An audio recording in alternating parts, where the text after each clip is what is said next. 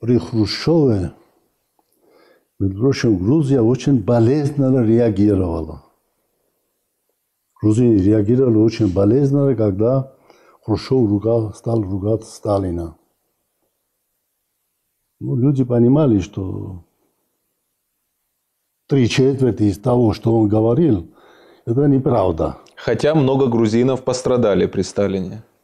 Многие пострадали. Грузия больше всех пострадала. Вся интеллигенция, всю интеллигенцию истребили. Но здесь главным виновником был Берия.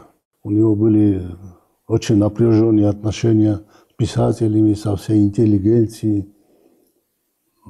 Ну, Сталина уже здесь не было. Берия их истребил, действительно. Ну, естественно, согласие Сталина.